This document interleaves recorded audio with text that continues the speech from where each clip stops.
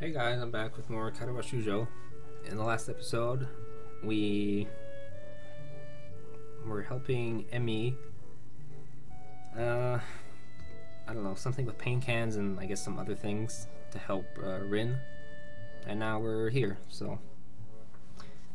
The working area is a mess, but the mural itself has taken over even more of the wall since I last saw it. Disfigured human figures have been mostly colored in tones of red, pink, and orange. Weird imaginary. Imaginary. Uh, things populating the spaces between.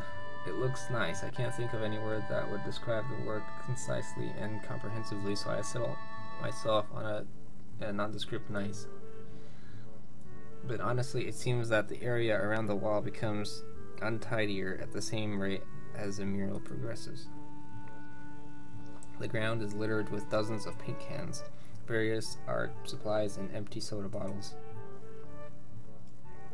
Min herself is in the center of the chaos, standing here, standing there, looking very cozy as if she was a natural part of the scene. Her paint legs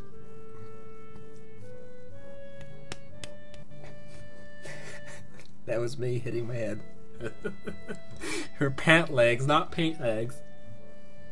Her pant legs had been rolled up to her knees, exposing her thin legs, which, which support a drying spectrum of warp paintings similar to those on Emi's face.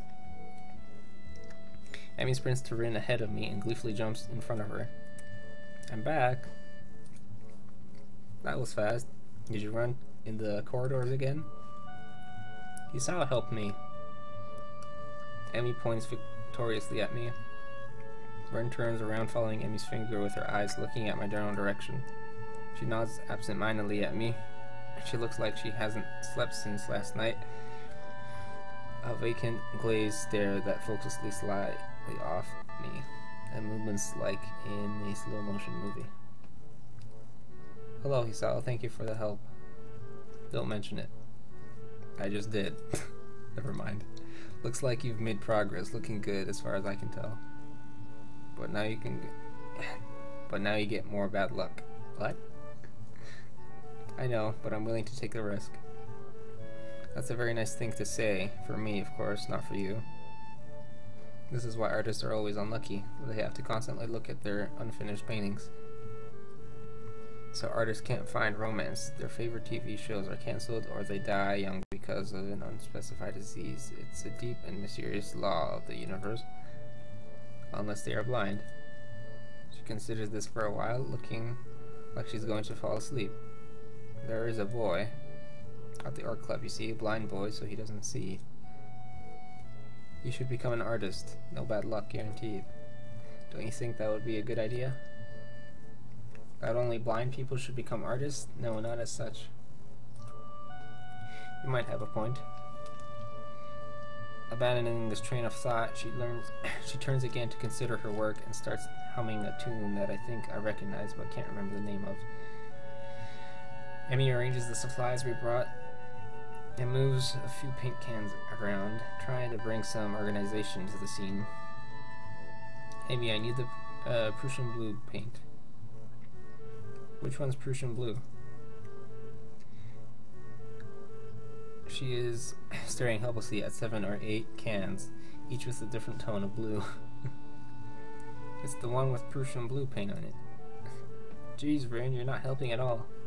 I look around as well, even though I don't know what Prussian blue looks like either. I wonder what blue has to do with Prussia. Or what Prussia even is. The name sounds vaguely familiar, but I can't place it. While none of the blues look more Prussian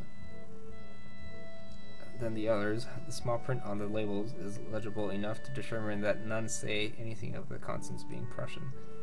There is no Prussian blue here. We need to get more then. Go get more then. I open my mouth to say that actually we are not both needed for such a simple task like finding another pot of Prussian blue, but Emi's already grabbed my arm and started dragging me off. I, I wave to Rin, who doesn't seem to have noticed that the two of us are even leaving. Well, she'll notice when she goes, gives, goes for Prussian blue. and finds out it's still not there. Maybe. Probably not, actually.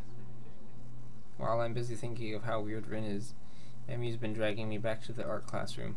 I feel myself starting to run out of breath. What's the rush? Huh? Emi's giving me an appraising look as if she's trying to figure something out. It's just that you seem to be in a hurry. I'm not sure I can keep up.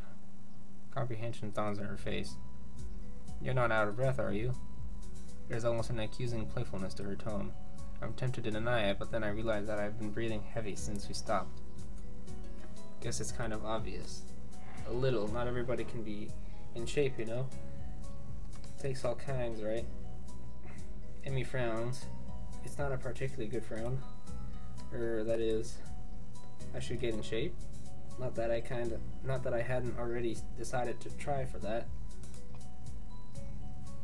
After that flutter on the track, I figured there's a real need to get in some sort of running habit. I was, after all, feeling pretty good until I had my false alarm. Well, actually, I wasn't, but it was fun. Meanwhile, my comment seems to have helped Emi come to some sort of a decision.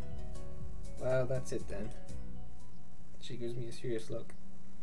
You're joining me. I beg your pardon? In the mornings. You and I are now running partners. I've got a routine all planned out, in fact. She produces a crumpled sheet of paper. I've got it right in front of, right here with me. Take the sheet of paper and give it a once over time, dates, and laps all laid out. A slow increase from just a few laps to a day two. My god, does, it, does she expect to have been running marathons? And where did she find the time to get this all together? And how long has she been planning this anyway? You've been planning this? A little. But it's really the nurse's idea. He told me to keep an eye on you to make sure you exercise like he told you to. A vast conspiracy? Maybe Kenji's onto something here. this seems a bit much for just keeping an eye on me. Well, to be honest, I've been trying to find a running partner in the mornings for a while now. My god, Kenji, you could have... if you could only see the scheme unfolding. What do you need a partner for anyway? It's easier to keep a workout if you're not the only one doing it. Isn't that obvious? You're less likely to quit if someone else is counting on you to be there, right? I see, and this won't only keep you running, but it'll make sure that I keep running as well. Meaning that I'll be obeying this nurse. The nurse. And I'll be keeping an eye on you just like he asked. You caught on quick, Hisao. And if I refuse, I have no intention of refusing, of course. But I've got to at least put up a token resistance, such a masterfully executed plan. Well, if you refuse, I'd have to pout. And you'd have to live with being the guy who made Emi Ibarazaki pout. You don't want that on your conscience, do you? As if to demonstrate, Emi begins pouting. It is the most adorable, heart-wrenching thing I've ever seen. Okay, I'll do it. Just don't do that. I feel like I just hit a puppy. So it's settled, right? You're going to be my running partner. Follow the workout. And the dietary plan? Dietary plan? Yeah, the dietary plan. You've got to eat healthy if you're going to get in shape, you know? I examined the workout routine closely. I don't see a dietary plan on here. Oh right, I forgot to give that to you. Another crumpled sheet of paper is produced and handed over. It's somewhat less detailed. I had the nurse help me come up with that. Come with it. The amount of dedication that the nurse has to keeping me in good health is pretty overwhelming. I don't know many school nurses who would get one of their students to spy on me, much less help come up with a dietary plan. Then again, I guess I'm not in a normal school. And maybe that's not such a bad thing.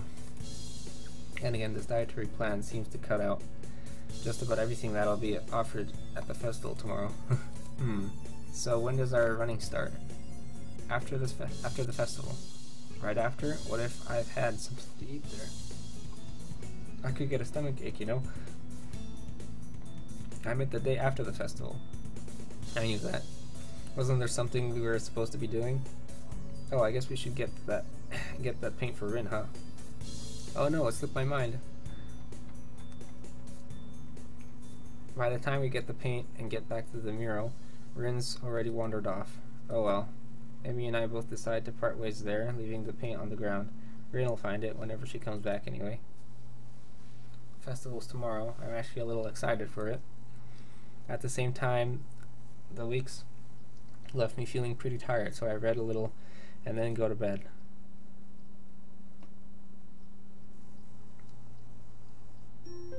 Hmm.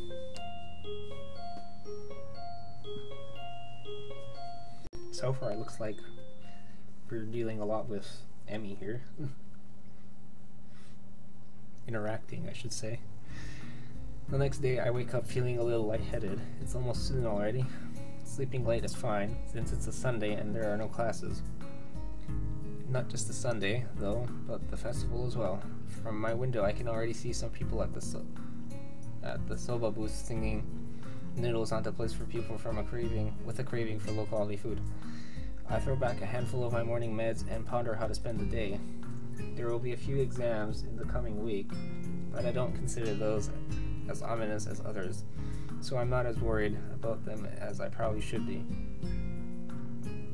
With no urgent obligations regarding education, I should be free to spend the day at the festival as I like. Finishing my morning routine, I exit into the hallway, ex- uh, intending to go out and find something to eat. Passing by his door, I decide to say what Kenji's up to today of impulse. I'm curious if he has any plans, since everyone is doing something. Then again, I can picture him having a built having him build a soundproof shelter in his room. Possibly something like a fort complete with no girls allowed sign. and with the girls crossed out and body crudely scrawled underneath it. Knocking on his door, which is luckily devoid of any kind of sign, I hear again the unsettling clicking of at least ten locks behind uh, being pulled back. The door opens up a crack. Who is it? You're supposed to ask that before you open the door. Oh, it's you. Damn, it's early. It's not really that early. What is it, man? Nothing. We're just gonna ask you what you're gonna do today. Half the school is out there already. Out where? Why? What? What? What? It's is today special? Why are they there? Who are? I can hear them. It's loud. Don't tell me. Has the invasion begun? He suddenly looks more alarmed. What day is it, man? Yeah, I guess you can't see the big wooden booths outside and people selling stuff. What the hell are you talking about? I have my curtains closed at all times to thwart the snipers. oh, it's the festival, you know that, right? Oh shit, that's today? Ah, damn. Ah, damn, damn it. I can't believe I forgot. I don't have my fort finished yet. This is bad. This is going to be a very bad day. It's good you told me this, man. This is going to be a bad day. Why?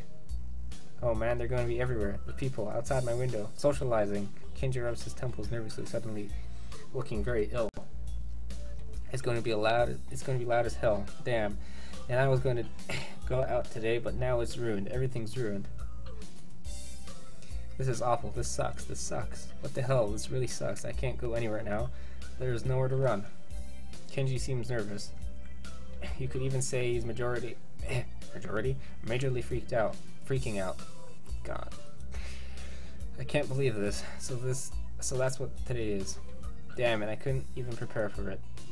I couldn't even brace myself, and now it's here, and I can't do anything. You should have told me this earlier, dude. I mean, at least I know, but I could have known earlier. I mean, imagine what I could have accomplished. Sorry, I thought you knew. So I guess you're not going to do anything today. The weather, the weather is even good. Yesterday was really windy, so I thought today would be cold. It's not, though, so there's no reason to just stay inside. Yeah, you should check the festival out. Kenji groans and covers his face with his hands. Ah, no, no, I can't do it. They'll eat me alive out there, I know it. That has to be a joke, but he said it with such a straight face, relatively straight. What are you going to do? We should hang out in here. You can help me build my fort. We might still make it if we work together. I wonder. I'm kind of hungry, but I made this deal that I uh, that I try to take better care of myself, be healthier. You know. Don't know if I should steer clear of the ta takoyaki or head straight in. Deal? Sounds ominous. So what are you getting in return? Nothing, I guess. It's not that kind of a deal. You know Emi from our year? We kind of agreed to watch each other's backs and... I... The shrill scream and the expression of abject terror in Kenji's face chill my blood. It's as if I told a Catholic priest I sold my soul to the devil. Her, you sold your soul to the devil and you didn't and didn't get anything in return. what the hell is wrong with you, man? Do you know who you're dealing with? She's a public health danger. Do you know how many people she sends to the hosp hospital monthly with her careful placed flying tackles? What? She's one of them, a key player in the vast conspiracy that aims for the complete submission of everything that is manly. I can't believe what I'm hearing. I trusted in your judgment, man. I thought we were brothers. You have to call it off before it's too late. This festival, too. It's just one of their ploys. He fingers his scarf nervously, faster and faster, like he's trying to start a fire, then slowly begins to calm down once the panic attack finishes running its course. I'm going to have to find some place to hide in, a safe haven, and then knock the lights out of myself so that I don't have to experience this horrible day. I have the perfect thing for that. I must prepare now. Don't go to the festival. Okay. Later, dude. The door slowly closes with a, a low creak, and I don't know how to feel about what Kenji just said. It's kind of unsettling, and now I start to feel doubtful myself. Should I bother going? I've got a book I've been meaning to read, something about an underground postal system that may or may not exist. It's short too. I could have I could have it finished in a day. But the uh, but what would that be a good way to spend any of my, my time? Well, yeah, it definitely would be. But I suppose that it would probably be a little uh, be better idea to head outside, see the festival, try to integrate with all the other sideshow acts. Honestly, I should at least make an attempt to keep up the somewhat friendly personality I've had the past week. Maybe get something to eat. My stomach suggests it's almost lunchtime. I could at least grab something from one of the stalls outside. Oh, whoops. Alright. That'll get for this episode. I'll see you guys next time for more Katawa Shoujo.